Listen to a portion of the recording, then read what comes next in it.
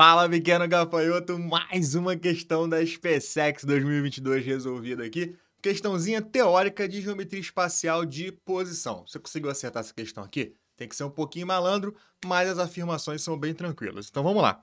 Sobre os conceitos de geometria espacial de posição, analise as proposições a seguir. Primeira, se dois planos são secantes, então qualquer reta de um deles é concorrente a um outro. Veja que ele fala aqui, ó, qualquer reta. Então, se eu achar um caso que falha, toda essa afirmativa ela vai para o brejo. Então, vamos ver se a gente consegue fazer isso. Ó. Imagina que eu tenho um plano aqui, beleza? E aí eu vou ter um outro plano concorrente. Então, esse plano concorrente, né? Ele vai passar aqui, beleza? E aí eu vou ter aqui a reta sendo concorrente. Ele está falando que qualquer reta desse plano qualquer reta desse primeiro plano, por exemplo, essa reta aqui, ela vai ser concorrente a. Olha lá, ó, ele fala: qualquer reta de um deles é concorrente ao outro. Então, achei uma reta de um plano. Agora eu vou traçar uma outra reta aqui.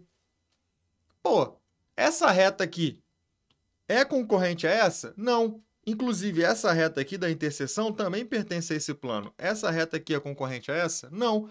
Então, essa primeira aqui, ela é muito, mas muito falsa. E se a primeira é falsa, como é uma questão com vários itens, né, você vai eliminando logo as alternativas. Então, se a primeira é falsa, não tem como todas serem verdadeiras. Beleza? Aí, essa é a única que a gente consegue eliminar. Se uma reta é paralela ao plano, então ela é paralela a infinitas retas desse plano. Pô, vamos pensar. Confira comigo aqui no replay, quase que não sai, né? Eu tenho aqui um plano e eu tenho uma reta paralela a esse plano. Eu consigo montar uma reta paralela a ela aqui, outra aqui, outra aqui, outra aqui, outra aqui, outra aqui, outra aqui. O plano tem tamanho infinitos, então sim, eu consigo montar infinitas retas aqui contidas nesse plano que vão ser paralelas àquela minha reta dali. Então essa minha segunda, ela é uma afirmativa verdadeira. Show? Se dois planos têm uma única reta em comum, eles são secantes. É a definição né, de plano secante. Está aqui, ó, reta em comum, eles são secantes. Então, essa daqui também é verdadeira. Então, até agora, a gente tem que a 2 e a 3 são verdadeiras. Belezinha? Então, a gente não consegue eliminar nada até agora, porque as outras falam de afirmativas falsas. Beleza? Duas retas perpendiculares a uma terceira são perpendiculares entre si. Será, cara? Porque olha só.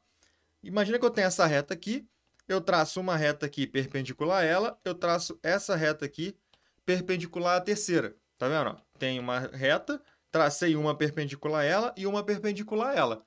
Essas duas retas aqui, elas são perpendiculares? Não são, né, cara? Não são perpendiculares entre si, elas são, na verdade, paralelas. Então, essa número 4 aqui, ela é falsa. Beleza? E se, to... e se dois planos são perpendiculares, então toda reta de um deles é perpendicular ao outro. É a mesma justificativa do 1.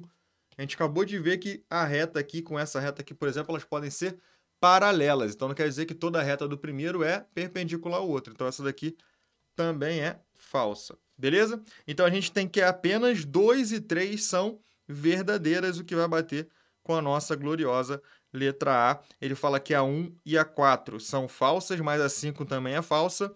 4 e 5 são falsas, mas a 1 também é falsa. Beleza? Então, vai ser a nossa gloriosa letra A de aprovado. Curtiu essa questão aqui, cara? Me fala aí se você acertou essa questão e vamos juntos para a resolução de mais questões da prova da SpaceX que você está no Praticando Matemática. Vem que vem!